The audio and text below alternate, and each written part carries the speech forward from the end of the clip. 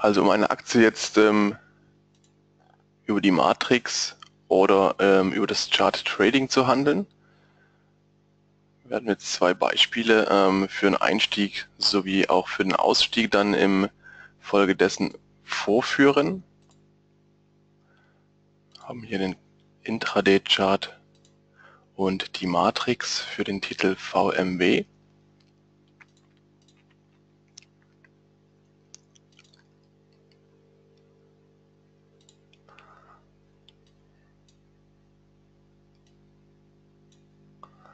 Und im Chart sollten Sie mit der rechten Maustaste ähm, reinklicken und das Chart Trading aktivieren.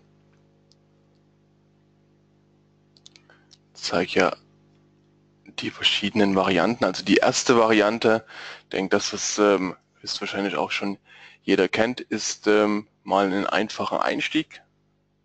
Gehen wir mal hier im simulierten Bereich mit 100 Stück in den Markt. In der Matrix haben Sie auf der linken Seite die äh, Bit-Size ähm, mit den Kaufpreisen oder mit den Kaufgeboten und auf der rechten Seite die Ask-Size mit den Verkaufsorders. Jetzt können wir uns dementsprechend hier platzieren. Wenn ich die Order oder die Aktie jetzt sagen wir mal zu 58,30 kaufen möchte, klicke ich zu dem jeweiligen Preis hier in den Markt. Warte in der Regel, bis es ausgeführt wird oder wenn ich es gleich ausgeführt haben möchte, kann ich es dann auch hochziehen. Je nachdem, wenn ich jetzt direkt einen Verkäufer anspreche, bekomme ich direkt die Ausführung. Dann sehen wir das auch dementsprechend im Chart dargestellt. Und jetzt hat man die Möglichkeit, entweder nachgelagert nur einen Stop einzugeben. Dabei immer wichtig darauf zu achten, wenn man die Position länger hält, die Duration auf GTC einzustellen. Nicht GTC Plus, für Stop Orders immer nur GTC dann kann ich hierher gehen und sagen, okay, sehe den absoluten Verlust, möchte nicht mehr als 40 Dollar äh, riskieren, kann meinen Stop hier dementsprechend platzieren. Wichtig hierzu, dass Sie ähm, die Einstellung oben Auto Limit Stop gewählt haben, dann wird hier automatisch ähm, ein Stop gesetzt, wenn Sie unterhalb des Preises sind, oberhalb natürlich im Gewinn dann eine Limit Order, also da müssen Sie nichts umstellen. Das geschieht mit dieser Einstellung Auto Limit Stop automatisch. Ähm, das Einzige, worauf Sie noch achten sollten, ist natürlich hier die Stückzahl, 100 Stück, ähm, so viel wie wir hier in dem Sinne gehandelt haben. Mit diesem Button P können Sie sofort die Stückzahl einstellen. Also wenn ich jetzt aus welchen Gründen auch immer versehentlich eine andere Stückzahl habe, würde er die Order ja nicht akzeptieren. Deswegen kurzer Blick, äh, Klick auf das P und wir können mit der Stückzahl, die wir aktuell bei dieser Position offen haben, hier unseren Stop setzen. Und dann sehen Sie auch den Stop rechts im Chart.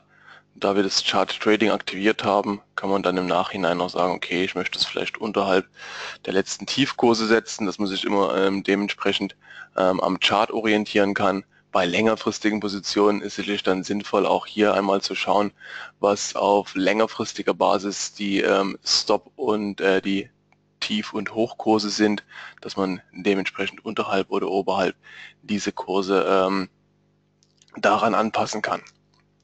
Ja, das erstmal die einfache Form, jetzt nur ein Stop, dann sind Sie auf jeden Fall abgesichert gegen stärkere Bewegungen nach unten ähm, und ähm, werden somit Ihr Risiko minimieren.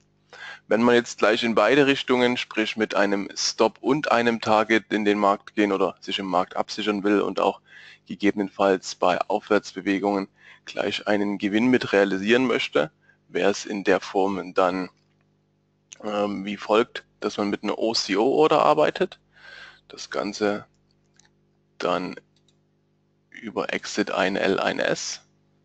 Für diejenigen, die später hinzugekommen sind, wir kommen gleich ähm, noch zu den Einstellungen, was ähm, General Motors oder auch OSO anbelangt. Nur kurz hier eine Erklärung in TradeStation zu den ähm, einzelnen Order-Eingaben. Bei OCO das gleiche Prinzip, ähm, Exit 1L 1S einzustellen. Hier über diesen Button mit den drei Punkten können Sie dann noch die Abstände vorab einstellen.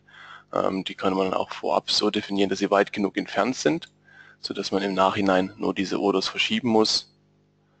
Sie sehen jetzt hier Stop und Target. Wenn ich auf den Button Place OCO klicke, kann dann zum Beispiel hier das Target an den Hochkurs setzen, das, ähm, den Stopkurs dementsprechend etwas nach unten ähm, justieren das gleiche gilt natürlich auch hier mit Exit 1L 1S im Bereich des Chart Tradings. Ich verwende in der Regel die Matrix und passe dann die Preise dementsprechend lieber in einem Chart an. Ähm, natürlich geht das Ganze auch in der Matrix, kann ich die oder dementsprechend genauso verschieben und dann an dem Verlustrisiko, das ich ja hier sehe, absolut dementsprechend das Ganze mit anpassen. Also das wäre die Vorgehensweise, wenn man es ähm, in der Form ähm, manuell einsteigt, also mit einer Order und dann im nachgelagerten Gang ähm, die Stop- und Targetpreise für die jeweilige Position ergänzen möchte. Die nächste Variante wäre das gleich an den möglichen Einstieg mit dran zu hängen, also quasi den Einstieg mit einem Stop und mit einem Target zu koppeln. Auch das möchte ich nochmal kurz ähm, präsentieren. Hierzu, hierzu ist die, müssen wir natürlich erstmal eine andere Aktie ähm, wählen. Da gehen wir einmal auf ähm, Facebook.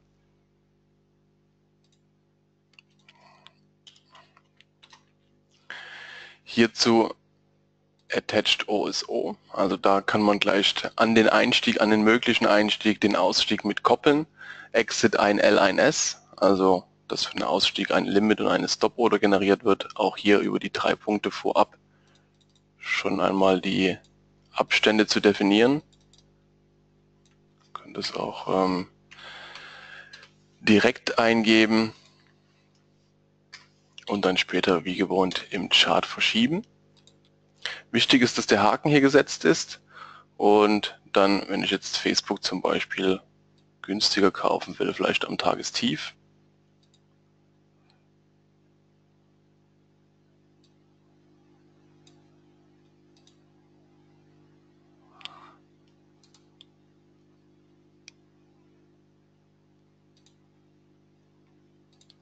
Dann sehe ich hier grün markiert den ist, ähm, das Limit und das Stop, das ich auch wieder hier entweder in der Matrix oder im Chart verschieben kann.